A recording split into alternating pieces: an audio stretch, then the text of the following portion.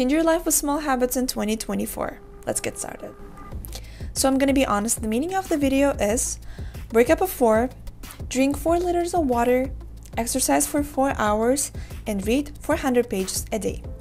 That's it, you can watch another video. You're still here? Well, thanks for staying because that sounds very unrealistic. I don't do that as well, and I don't want you to do that either. So, um, in this video, we'll be talking about real habits, real small habits that changed my life in 2024 in like 20 days or something, and it's gonna help you to change your life as well. So, let's get started.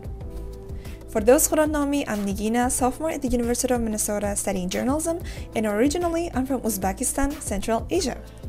On this channel, we talked about studying abroad, student life abroad, traveling, and self development. So, if you want to join the community, welcome. So, the first thing I do is drinking juice every single morning on an empty stomach. So, what I basically do is I have either raisin water or dried apricot water. These are very useful because I have very low uh, amount of blood cells. This is the reason why I went to the hospital over the summer.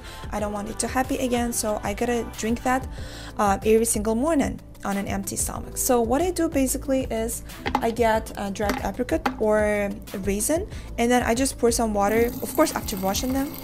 I just pour some water and then I make it like soak over the night and when my body wants some water, I drink these instead of just normal water. So basically what they do is they purify the blood, they stimulate the liver functions, they eliminate toxins from my body and of course it's going to help me with eyesight and it promotes gut and it promotes healthy gut as well. So to be honest, you just have to drink these in the morning. Oh my god, it's so so good. It's so good. It's so delicious. Better than Coke, better than Sprite, whatever, name it.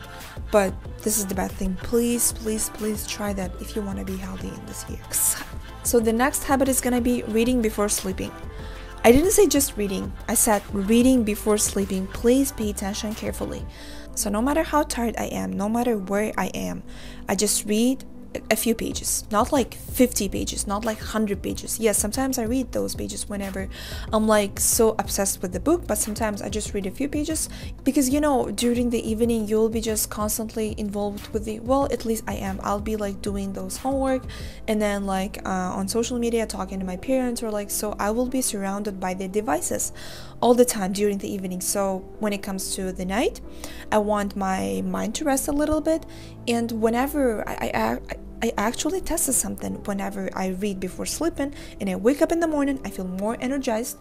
My mind is much clearer compared to uh, when I don't read before sleeping. So I highly, highly recommend you guys to sleep before reading.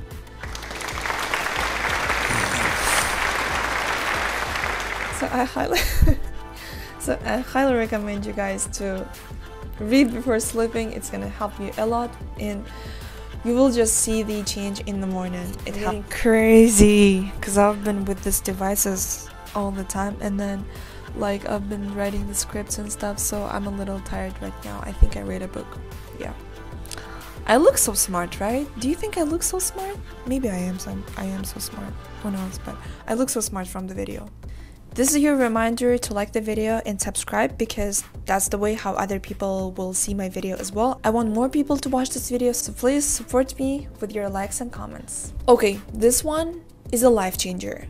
Please, please, please take a note of that because that's important. I want you to be so organized as well. Next one is planning. Planning. Oh my god. I use Google Calendar and it's just a lifesaver. I've tried like many options like Notion, other like to-do lists or like other apps, even like the calendar on my iOS, like my iPhone, my MacBook. Just Google Calendar is the best because if you like synchronize it with your other devices, you can just open it like however you want. If you're a manager, like adds your work to your calendar that's gonna just make it much easier you can add other people's calendar to your calendar as well so it helps me a ton of time I'm attending lots of events that I want to attend. I'm not forgetting those important tasks that I have to do.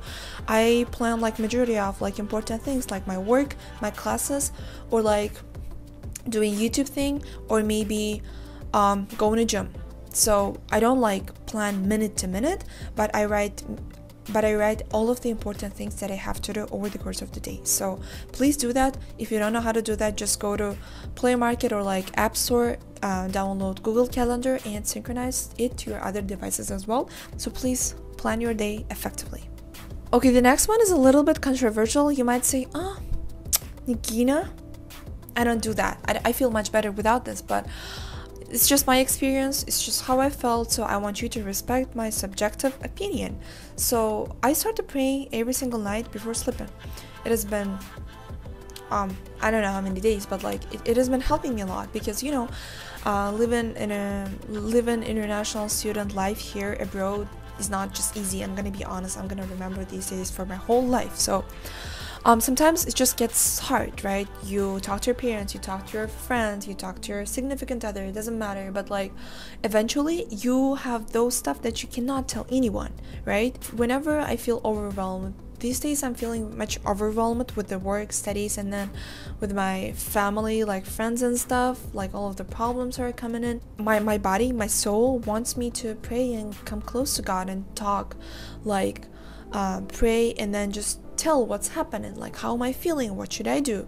So all of these things are helping me to get better like mentally and emotionally as well so i'm much stronger.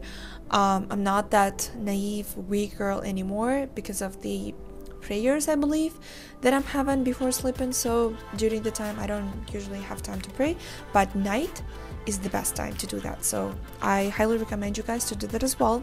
It's gonna help you in many, many ways. So please, no matter your religion, just find the time to pray and um, you can see the changes like in days, in months, in, in minutes. I don't know. It's gonna help a lot, believe me. Okay, the last one is one of the most important ones, I believe. So last semester, I was like a very, very alone student. Not, I'm not gonna say lonely because I, I'm, I wasn't lonely. I was just alone. I liked being alone. I enjoyed my time alone. But sometimes it, something here was not enough. You know what I mean?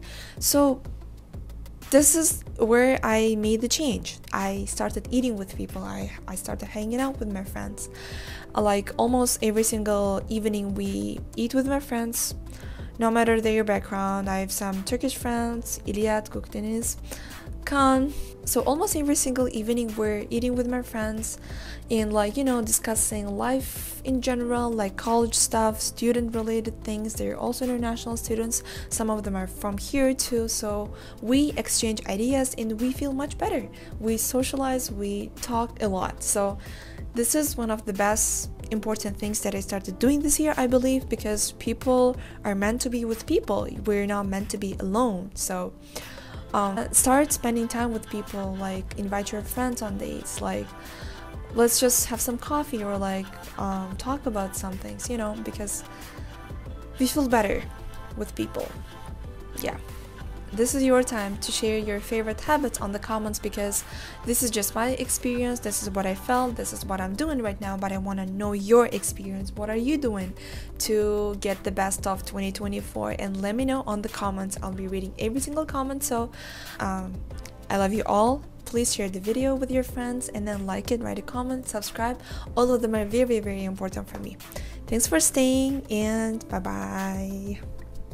Спасибо вам большое. Я вас обожаю, ребята.